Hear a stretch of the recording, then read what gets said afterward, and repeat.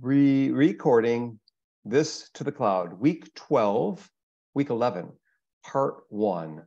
And week 11, part two will be on collabor collaboration and collaborative research. Part one's with Chaoran Wang, who graduated from IU a couple of years ago, really a little over a couple of years ago. She's been working though for two years at Colby College in Maine, near Waterville, Maine. Yes. North of north of Augusta, I think.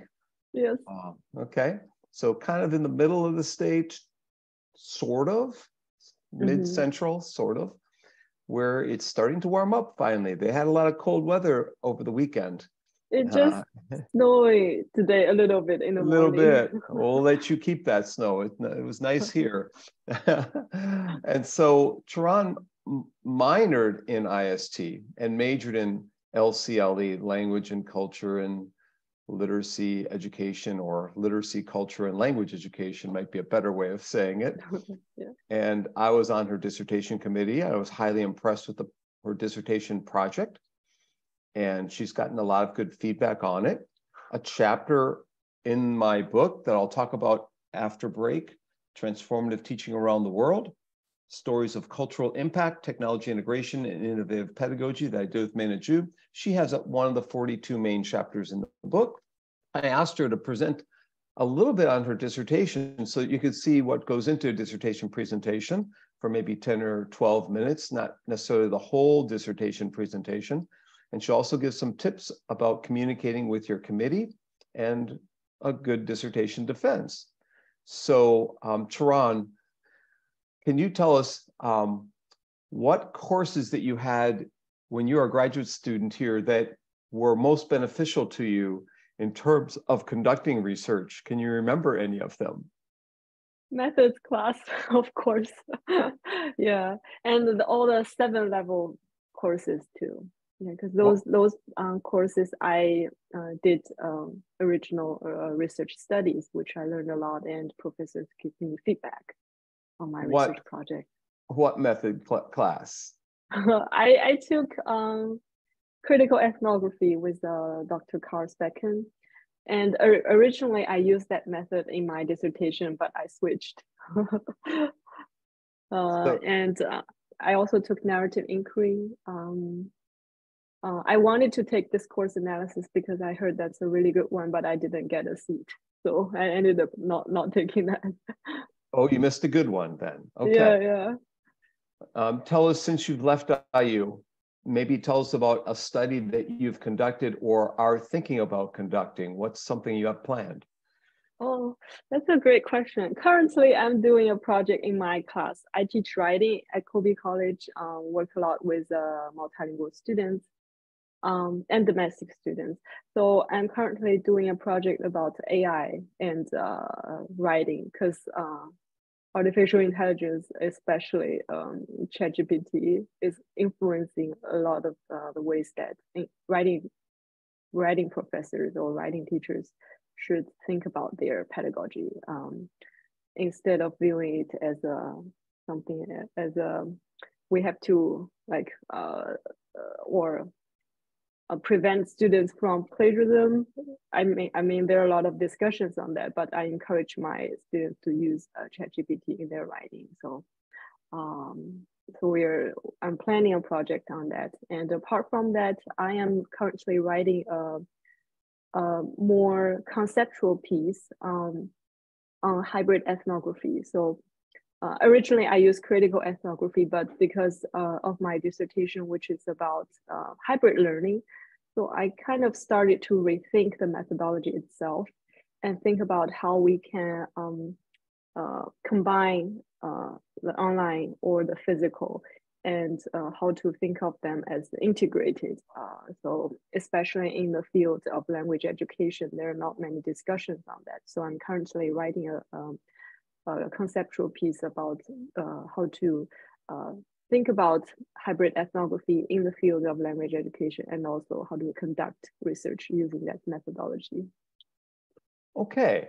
Would you like to tell us um, a little bit about your dissertation project and what you did? Um, maybe show some slides, and then afterwards you can give us the tips for how to present and tips on how to communicate. But I think it's better to just see it first, and then the tips will make more sense, right? Okay. Yeah. Yeah.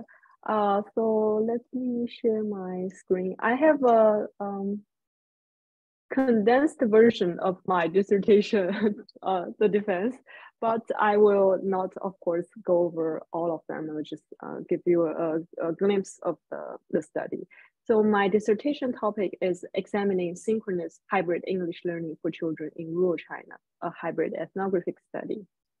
Um, a little background information, uh, English is a compulsory subject for all elementary students from grade three in China. However, there's a huge rural-urban divide of primary English education because in some rural schools, they, they cannot uh, uh, find um, English, uh, professional English language teachers for uh, children. There is a great shortage, especially in um, rural and the uh, mountainous areas, which is one of the places that I am examining in my dissertation study. So uh, scholars talk about the rural-urban divide, mm, which looks like this. Uh, and, and one concept I think it's important to mention because many of my students are so-called left behind children. Um, uh, so it's it's happening because of China's economic boom because there is a huge uh, migration of cheap rural laborers. They move to cities to work in uh, work as blue collar jobs. So their children are left behind in the villages.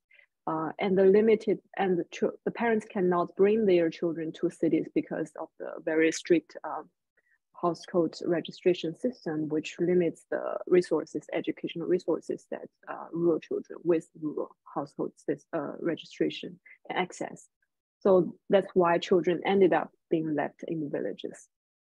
So uh, actually in my uh, study, I most of the population students I'm looking at are left behind children. And I, I'm actually still in contact with them. So a few days ago, I still uh, talked with one of the, uh, the, the, the students and he told me that he already started working in a, a, a suburban factory. So he dropped school. Uh, he's he is he should be at um, ninth grade right now, but he and many of his cohort actually dropped school, which uh, makes me uh, feel very yeah mixed feelings. Um, so my research questions, I I'm interested in uh, the patterns of interaction in this hybrid um, language learning class. So what patterns of interactions do students and teachers employ in this remote Chinese elementary village school? And what are the patterns of online interaction? What are the patterns of face-to-face -face interaction?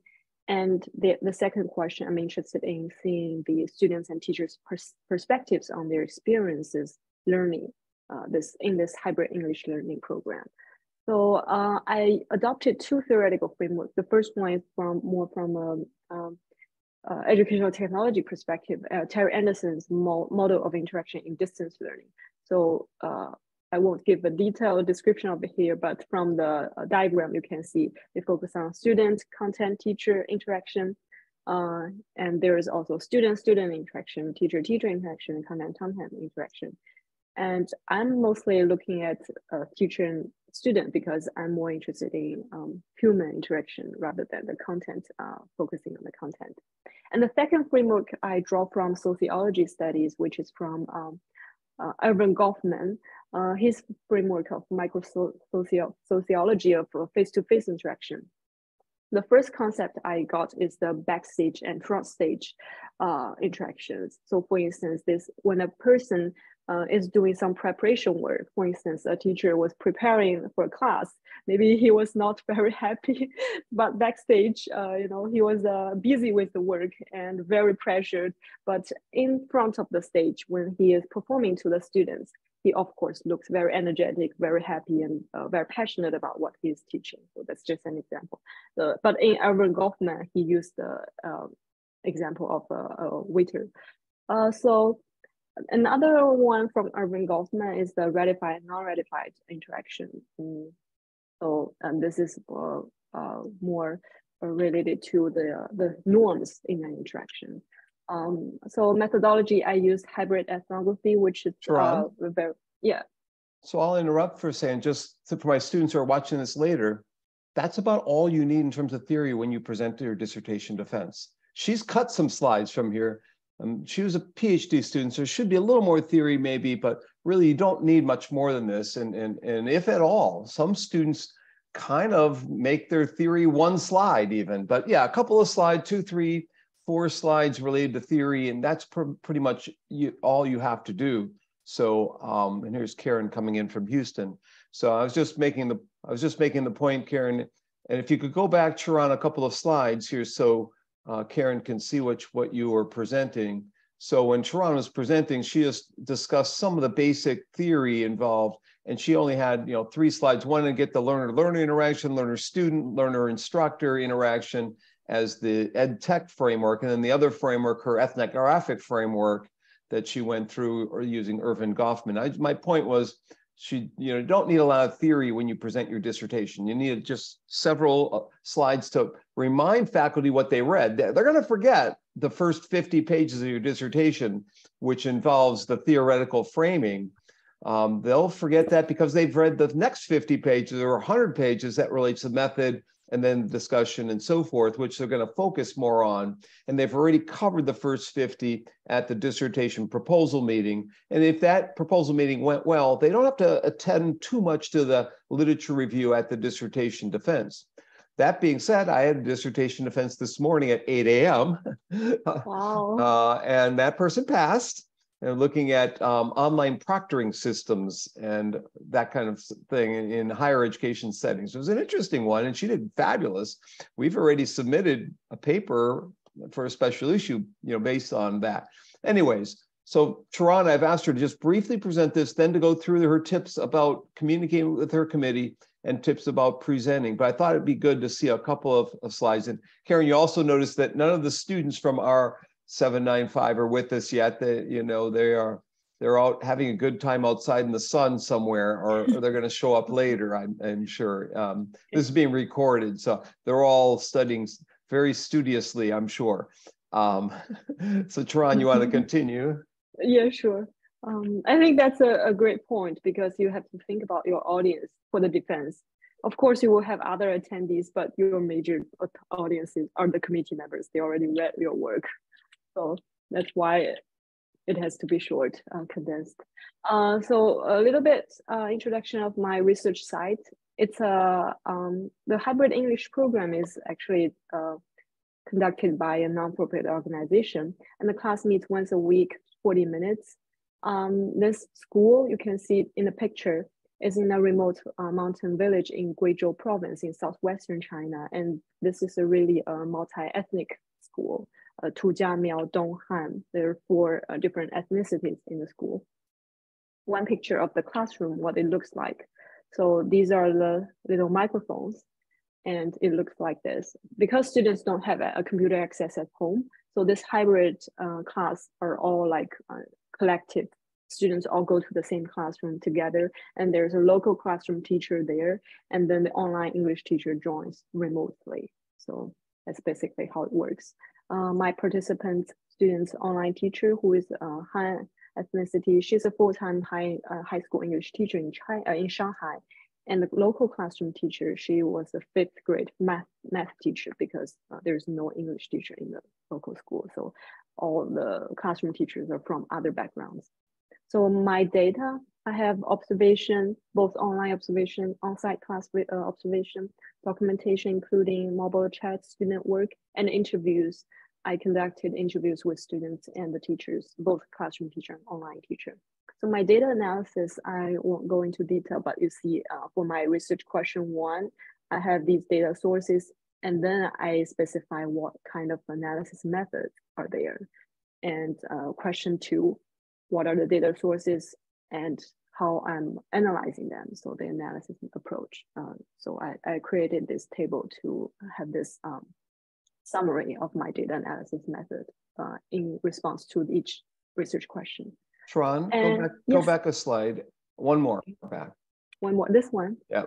And so you, did you have a really thick data set that you had to sort through and how did you make decisions about what data to analyze and what to skip over?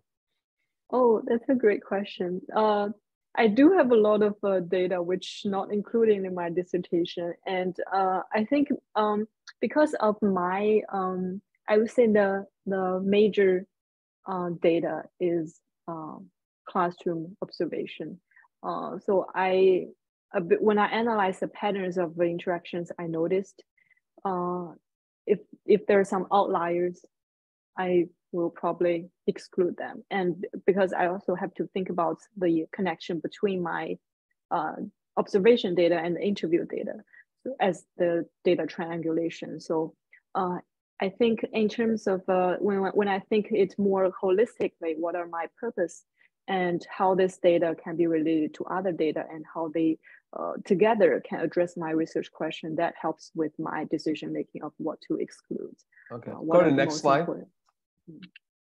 So this is really important. And increasingly, I see this in dissertations, this kind of table, and in fact, might be more expanded in some, some of them recently in terms of what data, what are the data sources. But this seems to be increasingly important to include. And it, when back in the day when I did my dissertation, we didn't necessarily see a table like this all the time. So I'd say in the last five years, mm, the majority of students have a kind of a, summarize how they're going to get their data, what the data is going to be by research question, in effect.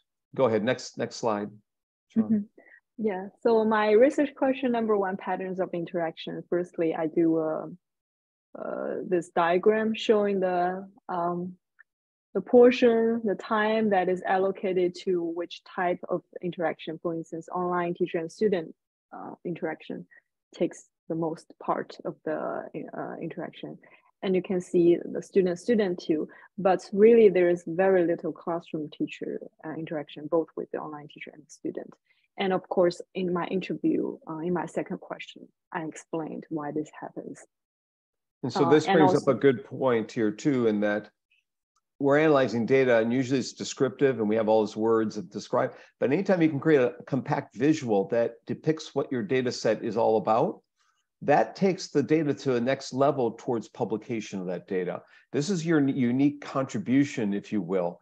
People can readily understand what, what your data set is about or they're explaining that data set. This morning, my student had 12 or 15 figures, and we found a way to reconfigure them actually so that they'd be even better than the way she had them. But it was that was the highlight, I think, in some ways of her dissertation, trying to use different um, uh, figures to indicate the themes in the qualitative data uh, set that she had collected uh, for how to do online proctoring, what faculty's opinions were, and so forth. So this, you always want to think about what the unique contribution is in any study, even your dissertation, of course. So um, that's what I'm reading for. And some faculty will be reading for, and they'll say to themselves, what can she publish from this? What is possible? Well, there's a start right there. This is something no one else has. It's unique to your data set. That's what my point was. You can keep going. Uh, yeah, yeah, that's a very good point. So I also analyzed more detailedly in terms of the specific interaction. For instance, online teacher, all student, one online teacher with one student, classroom teacher with all students, classroom teacher with one student, online teacher with classroom teacher and student, student, and the three together you can see there's really zero, the three together interacting, which is kind of interesting. And I also analyze the discourse features, sample activities. Uh, so in my dissertation, I have a lot of examples, uh, spe specific uh, observation data. So Chaoran, um, you said you yeah. didn't take discourse analysis. so you yeah. self you self-taught.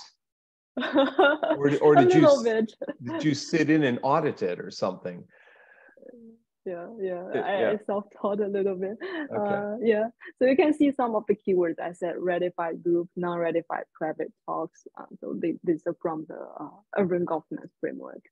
And uh, i have uh, i can talk more about it but i removed that because i uh, this is a condensed version.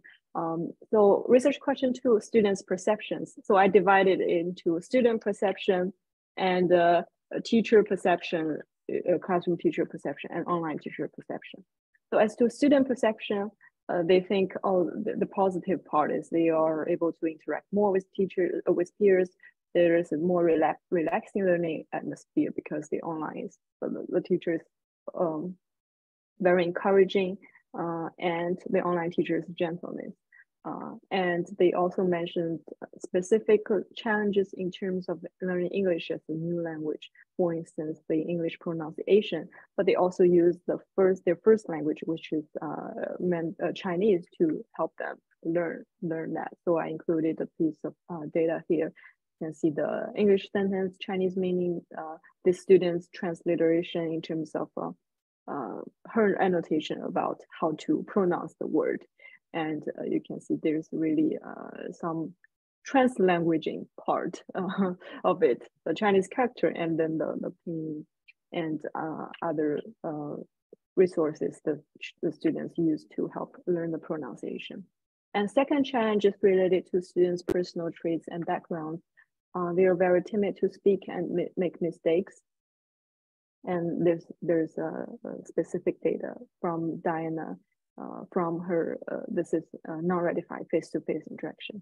And self-regulation, this is mentioned a lot by the uh, teacher and also the student too, because um, students, they come from a very unique background. I mentioned in the beginning, the government termed them as left behind children, and they don't have much home learning support, and they, they, they don't have this notion of self-regulation in terms of learning. Or they're not familiar with that.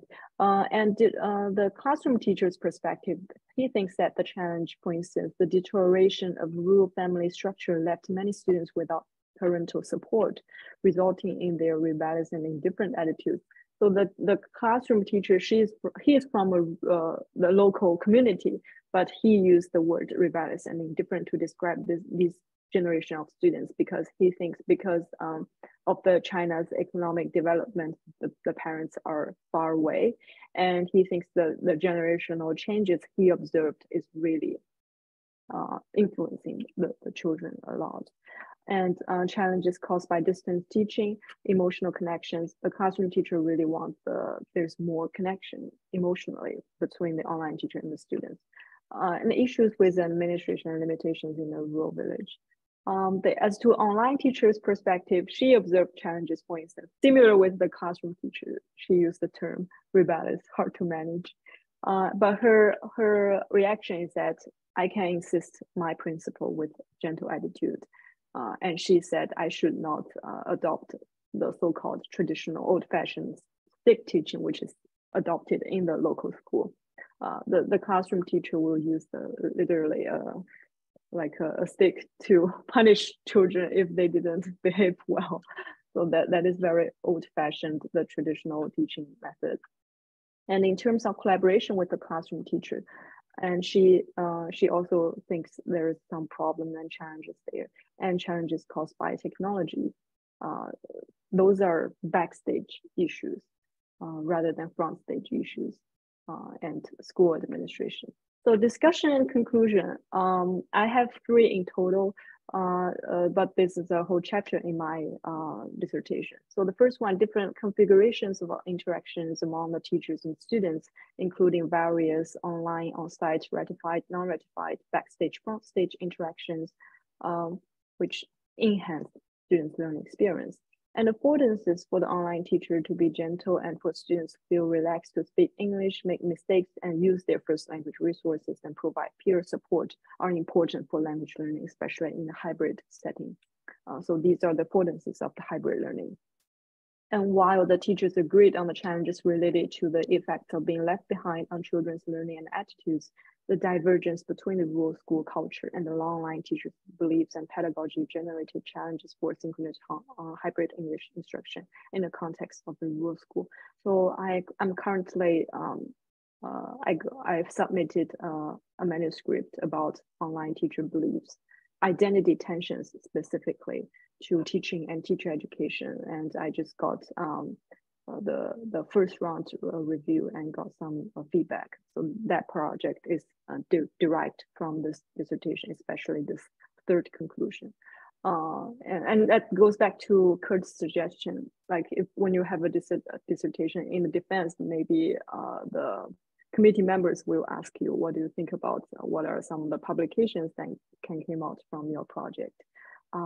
so I revisited Anderson's model and I also built a, a, a new model uh, based on my dissertation uh, findings. uh, I think deep and meaningful learning, there is, uh, you have to consider mode, form, the function, and the role. So this is uh, ICT and face-to-face -face communication backstage plus front stage behavior and ratified, non-ratified participation. I'm trying to build a model that uh, is uh, can account for uh, the various aspects of the learning uh, that I observed in the setting. So again, um, again that's yeah. a possible paper based yeah. on that model, the model you're producing. So you have your data set that's publishable, you know, and then you'll have um, this model and figures and frameworks, you know, that's publishable. So mm-hmm. yeah, I, I didn't prepare. Uh, in my defense, I have uh, implications for pedagogy, for research, and for policy, but I didn't include it here. So um, okay, yeah. that's also publishable. Implication side, it might be more practical kind of paper. Mm-hmm. Yeah. So now, why don't you go and, and give us your tips? Um, either either you can start with either one. You have tips on communicating, tips on defending um, yeah. Uh, before yeah. she does that, Sunmei or Karen, do you have any questions for Chaoran? Um, that, no, not right now. Oh, okay. oh, go, Karen. You can go first. Okay, sorry. Yeah, I said I said not right now. I'm good. Uh, okay. Uh, thank you for you know giving this presentation. That's because actually my dissertation topic is peer interaction. So I'm really interested in everything. So can I get the your yeah dissertation paper? Maybe I oh, can oh, yeah, sure. refer to some part. And also I have some questions. So you actually said that you know there was some you know interaction between students. How did you do that? So what did you provide for you know students? That's because I saw that there is a physical classroom, but each student had had you know just a computer and then maybe some devices, right? And then via yeah. some online Tandem or that's a great question. Yeah, in my in the English class, I observed there is not really student and the computer interaction. They're all when they oh. do it really feels like a face to face class when you have peer interaction. Oh. You just discuss with them face to face um, because the online teacher didn't embed uh, like uh, technology uh, enabled um, like learning activities. Otherwise, they can just use the computers in front of them. But that's what I observed in another com computer mm-hmm. class. Mm-hmm. students mm-hmm. will use the, the laptop in front of them and also do uh, peer uh, activities uh, just surrounding the, the laptop but uh, peer-to-peer interaction is uh, always face-to-face in this class. Oh. But the students also have a mobile chat. Uh, some of them, they, they chat after class in terms of uh, uh, many various aspects of their lives and studies. So you mean that originally, you know, face-to-face, you know, communication among students, but actually they are using as well to mobile chat, right? And how did you you know just to count it? That's because i saw that usually online teacher to all students 80% right? Mm-hmm, so pattern. Yeah. and then 22% of peer-to-peer interaction. So how to calculate them? That's because you know there is no information. That's because just the physical interaction at a time. I, I don't know just, just i'm curious how oh, oh, how yeah. did you calculate that percent? Yeah 20 yeah Mm-hmm. So for instance, um, like a class, one class is 40 minutes and the teacher, the online teacher is talking via Zoom, for instance. In, yeah. in China, they use a different app, but basically similar with Zoom. So uh, when mm-hmm. the online teacher is interacting with students, I will see like a, a whole uh, like learning event. I actually define my unit of analysis is a learning event and I cited a scholar who who decided uh, like what what is a learning event and basically went like the round of the the discussion. Uh, for mm-hmm. instance, if an online teacher uh, is talking with a student, talking with a, a, one student, that's counted as an online teacher. and student interaction.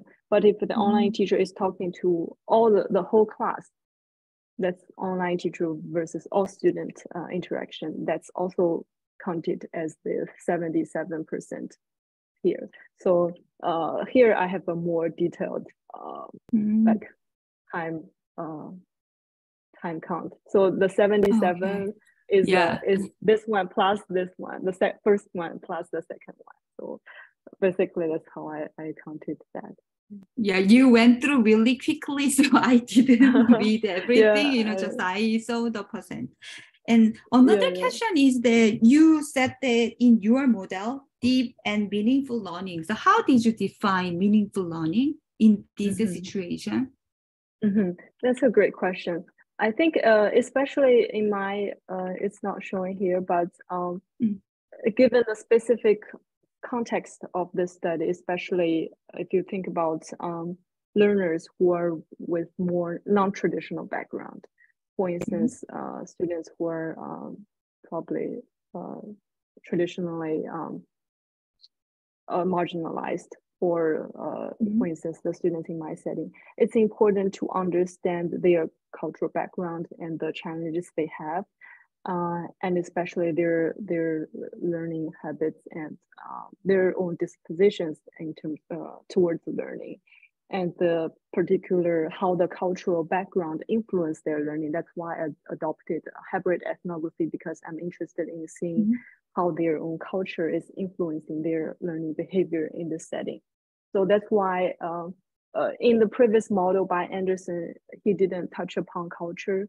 And that's mm-hmm. what I am interested in. He just say deep and meaningful learning is uh, teacher student content. Uh, he said um, all these are important, uh, but uh, the student teacher uh, interaction is most important because that's uh, you know the teacher giving feedback or things like that. But for from my model here, I think as you can see, the backstage and the non-ratified things are are things that are more relevant to the implicit culture that is being adopted by the participants. That's why I really want to emphasize uh, uh, this hidden part, this implicit part, uh, how the culture is influencing uh, learning. So in order to facilitate deep, deep and meaningful learning, we have to really think about what's not uh, visible, not visible for us uh, within the classroom setting, but more out of classroom setting. So uh, that, that would be how I define deep and oh, meaningful oh, learning. Yeah,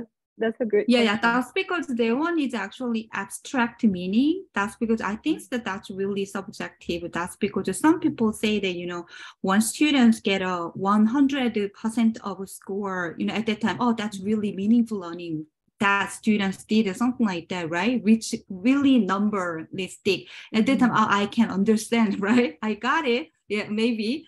But you know, usually as for the other meaning, so it's really hard. That's because I mm-hmm. went through the same thing. So it's really hard to meaningful learning. That's because mm-hmm. always so we we just to count to the number of something that's not enough i think so maybe usually we you know listen to the you know participants and then we define oh actually they did really meaningful learning at that time i have to say that what meaningful learning is so i'm yeah. just curious uh, yeah what yeah, you yeah. define and maybe i can yeah refer to karen karen okay, took off her you. karen took off her microphone so i wonder if karen has a question uh, yeah, I have a question. I'm actually looking at um, basically, you know, the curriculum and how the curriculum was designed, I guess. Um, you said on there that there's yeah, very minimal communication between the online teacher and the in-person face-to-face teacher. I'm wondering if it's there's minimal communication during class versus you know when they when they decided on the syllabus or the curriculum for the class where there was more communication there and if that was considered in your in your data or is it that that's that part is not considered or, or what?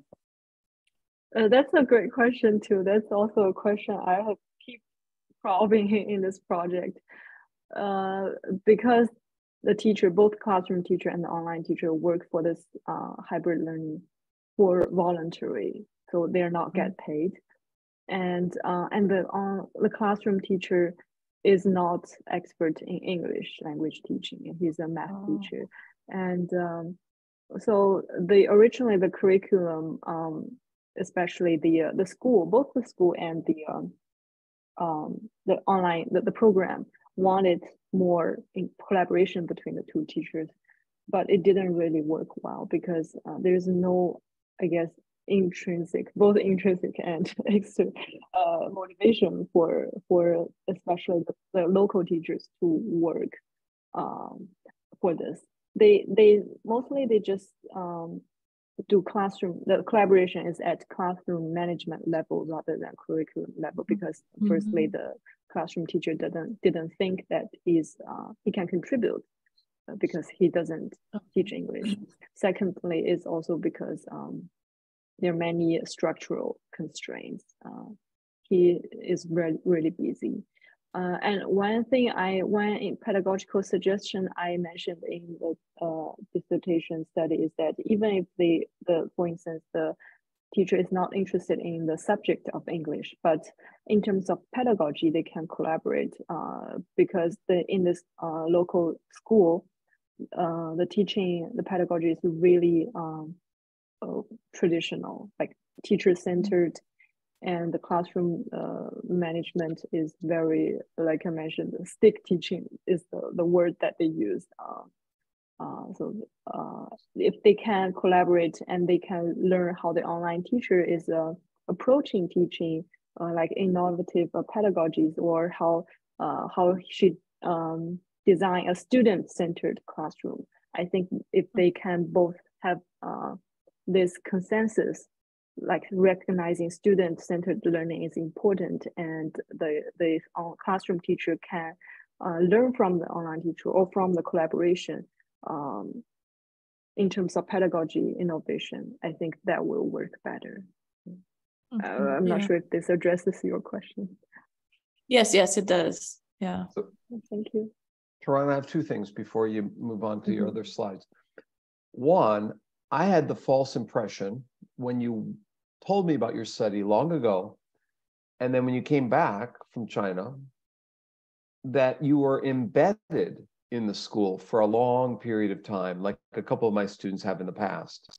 Right, right, not, right. You were not embedded in the school for a long period of time. Can you tell us just so we can get people will watch this later? They might sure. not understand that yeah. you flew in and, and you maybe stayed at a hotel for a weekend or maybe a couple weekends and stuff like that. But the kids really loved you and wanted you to come back because they had interacted with you, I think, before you got there. So there's a long, but there's a backstory right. to all of this that we haven't seen. And as part of that, could you show some pictures of the kids? You you cut those slides out, but you, can you can you go to the slides that have the pictures of the kids in the school and all that and talk about that a little bit and your yeah, role yeah. within the school embedded That's or not?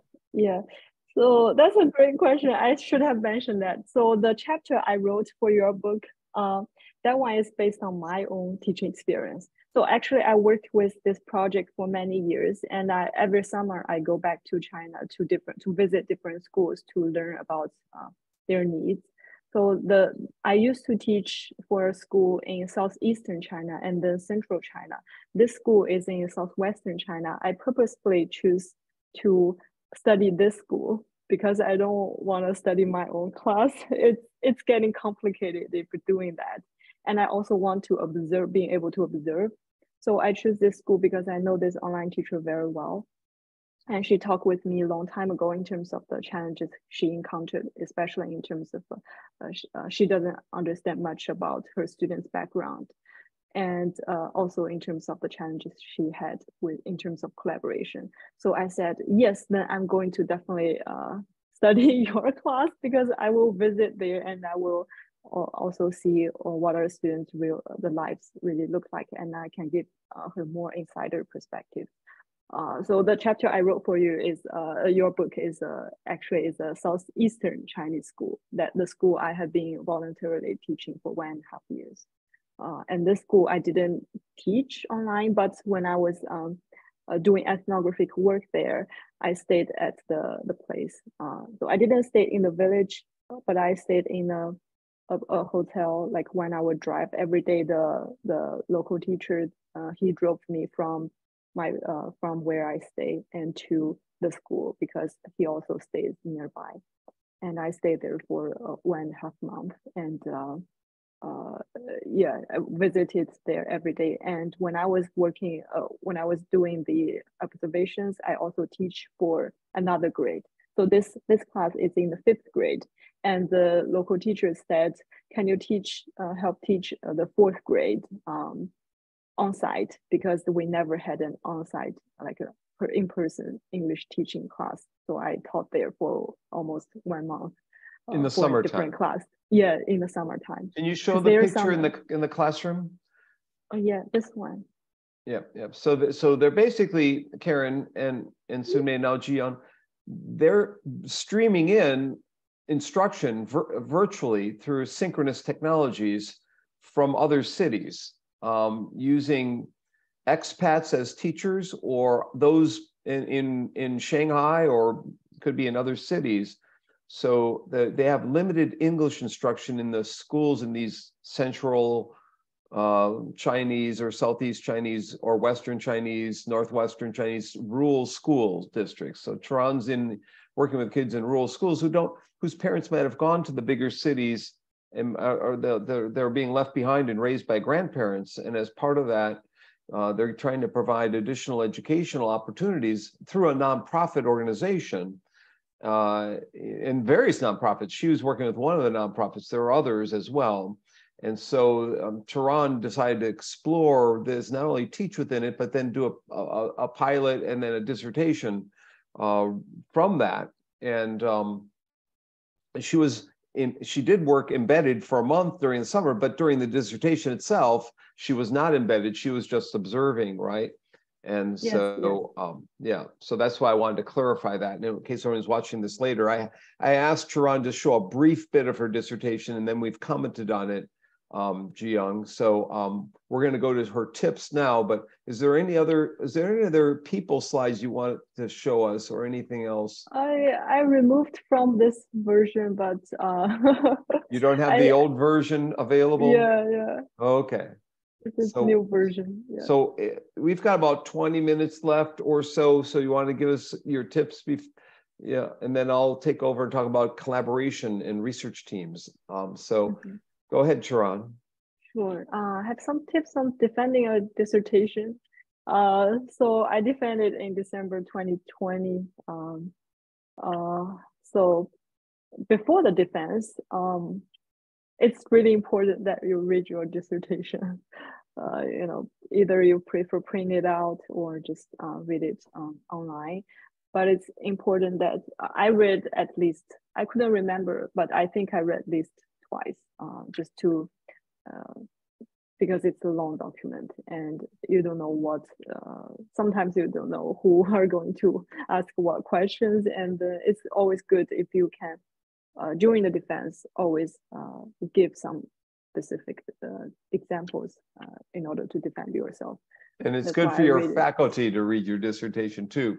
And I will say that some faculty will read it a month ahead of time and some will read it the night before. The majority of people read it the night or two nights before, not everybody. And so actually there's some conscientious faculty will read it a month in advance and they'll forget a lot of that, what they've read. Um, and it might not look like they've read, but they actually have. And, you know, so there's variations and strategies for reading the dissertation. It's usually when time allows you know. So I'm sorry, Chaoran, go ahead. Oh, no problem. Uh, and practice your presentation. I remember my advisor, she um, practiced me uh, with me once uh, online. My first version of the, the dissertation slides, I thought I can finish it uh, within 30 minutes. She gave me 30 minutes, uh, but I know some other advisors, depending on their requirement, maybe shorter, like 20 minutes or even shorter. But she uh, wanted me to finish it within 30 minutes. And I practiced it, it's uh, way more than 30 minutes. It really helped uh, the mock defense. Um, and presentation design, uh, you're all from IST. I'm pretty confident that you you have good design. Um, presentation de delivery, think about the time, the fluency, um, and anticipate questions. Uh, I think you can prepare some uh, questions and there's a high chance that uh, many questions, um, if you prepare, you know, there's overlap between what you prepared and what will be asked. and wear something you feel comfortable with in which you feel like yourself. Some people prefer to wear something uh, really formal. And if you're comfortable with that, feel free to do that. But for me personally, if I wear something which is very different from uh, my uh, everyday uh, uh, clothes, then I probably feel a little awkward. and uh, but uh, depending on your style, but as long as you, you feel comfortable, it's fine.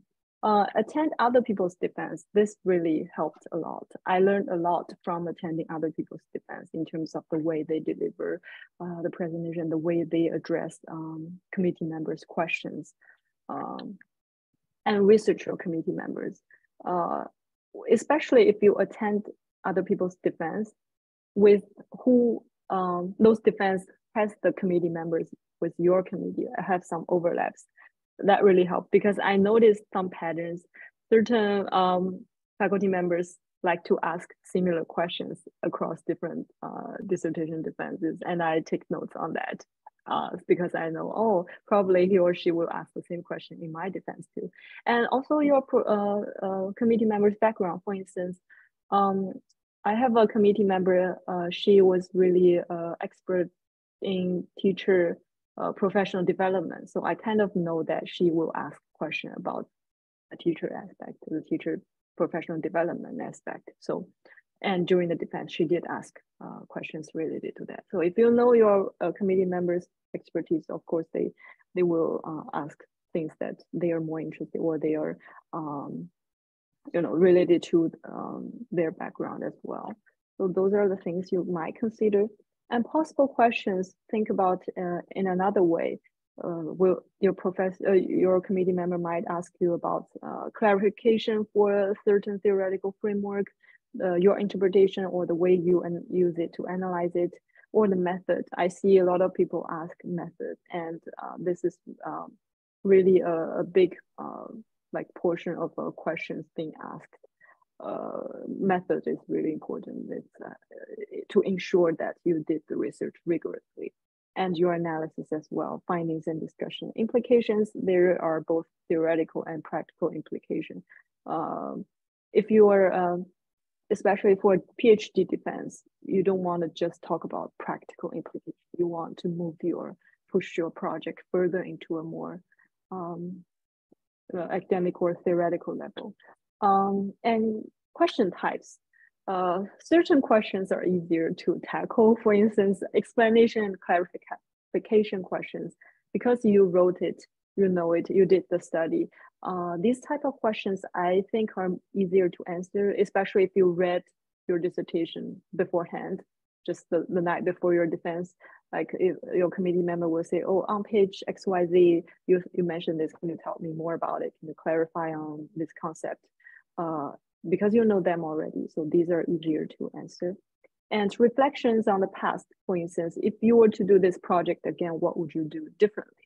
This is also to think about your, um, you know, reflexivity as a researcher. We all have, uh, uh, you know, things we probably think we can do better. Uh, and both in terms of our research design or the data collection or data analysis or the writing part.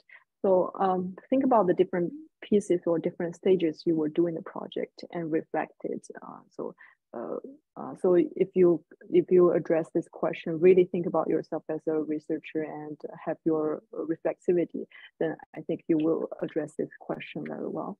And future plans, for instance, what publications do you plan to work on based on this dissertation? So, uh, so Dr. Bonk already mentioned this. Um, so think about how different pieces uh, of your dissertation work or different angles, different aspects uh, you can address. Either it's for, from a student perspective, um, teacher perspective, or uh, you know the different uh, things, or even methodology. Um, the real defense question, these are mo the most challenging part, I would say. So especially what you have omitted or the important things you should have addressed, addressed but not. So uh, normally if you encountered this question, uh, you know, you have to, um, firstly, I would say address, uh, thank the committee member, say, oh, that's a really great question. That's a great concern. And uh, you wanna say, justify why you didn't include certain things. Um, you know, is it because of uh, you already addressed that as a, a limited scope for uh, uh, or your rationale for purposefully choosing certain pieces uh, or the, omit other pieces um, and um, think about uh, ways to justify that but if you think uh, and you you will also think if if you can or if you want to add it uh, to your next revision. Uh, so uh, I would say, depending on the specific nature of your project, uh, uh, you have to, balance uh, how you want to revise it uh, based on the faculty members' uh, suggestion. And during the defense, can you go back a slide? So that that for no go go where you know mm-hmm. where you were the the the, the, the uh, one this one there you yeah okay. right. So the top question is what I used to be known for, asking about the literature review and page numbers in it. And students used to make fun of me at the IST Follies. But now I ask number two and number three. And, I, and we had a dissertation defense today at eight o'clock this morning, and I asked number two and number three. I can tell you what different faculty will ask if, if you're interested, Jiyoung. Uh, Jiyoung. Um, I can tell you what Dr. Kwan will ask, and I, I don't know what all of them will ask, but I've got a sense of things um, but I'll focus on limitations, future directions, and plans for publication. Um, some faculty, though, the one you don't have on here is the so what question. A lot of faculty get focused on just say, so what? So what does this mean? So what do, can we take away from this? What makes this unique? And as I may have said last week, I think I did, or two weeks um, before break, I had one student that um, Dr. Marty Siegel asked her a question, the so what question, so what? You know, what does it mean? And her dissertation ended up being so important. It got in in trade books. I mean, the findings of it. So there's a lot. She she had huge implications to her study that eh, you know got in the general knowledge in the in the newspaper and all. So have have an answer for why you did the study. What is the what is the implication of it? Right, the so what question. What are what are the takeaways of this research? and so forth. So that's a common question. Future directions and planning possible publications. That's a definite question you'll get somewhere along the way. Um, you can go ahead, Chaoran. Okay. Um, during the defense, put yourself in a good mood. Think before you respond because certain questions, of course, out of your expectation. Uh, I prefer to um, just pause for a little bit if if this question is really um, because sometimes a faculty member might ask you a like a, speaking a long time and ask you a double barrel question you know a good question of course is a short question. It's easy to remember but of course they have to explain why they come up with this, this conclusion what makes them to ask this question. So there's a lot of explanations before they ask the real question. The some sometimes you need to really put together your thoughts. If you feel that's necessary, you can just um, think about it a little bit before you respond. But sometimes you can also, uh, some people will prefer to uh, kind of using their response as a brainstorming technique. Uh, so uh, I would say uh, don't ramble too much if you if you adopt that that approach because um, I think um, a good response from my perspective is also like uh, writing an academic um, paper. Sometimes you you start with a um, like a statement, your claim, and then you use specific evidence to support your claim. So you want both at something at a more um, abstract level, but also some specifics uh, so that uh, your your claims or your answers are really well justified. And accept your nervousness, but do not be too nervous. Uh, here I have a question. How many defense failure stories have you heard? There might be some, but definitely not like the most part of it. So I use it to to make myself uh, feel more comfortable and less nervous. I would say, yes, uh, there's a higher chance I will definitely get passed. So why should I get nervous?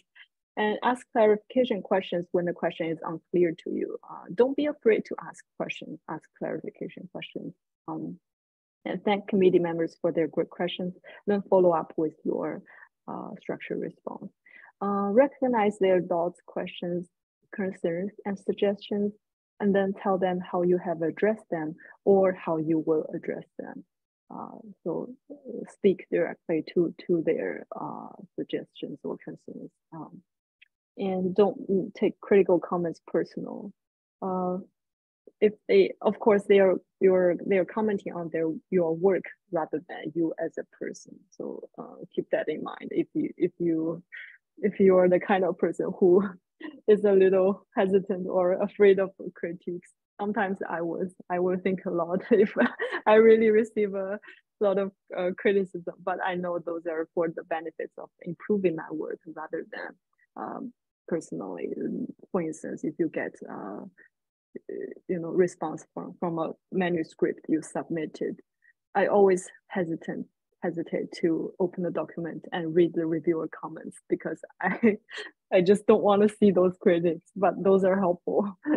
and um, so uh, I, I originally had a slide about communicating with advisor, uh, but I think um, I don't think I've uh, included in this version. So um, in terms of communication with your community members, I would say uh, be clear about uh, like you can talk with them, ask your advisor their preference on the frequency and the method of communication some advisors will will say, oh, we can meet uh, once a week or twice a week. Uh, like ask them uh, and ask them their expectations on the communication because some uh, advisors they will expect you to write something before the meeting. My advisor, um, she wanted me to prepare to to write something before uh, ahead of the meeting, and she will review the first few pages of that.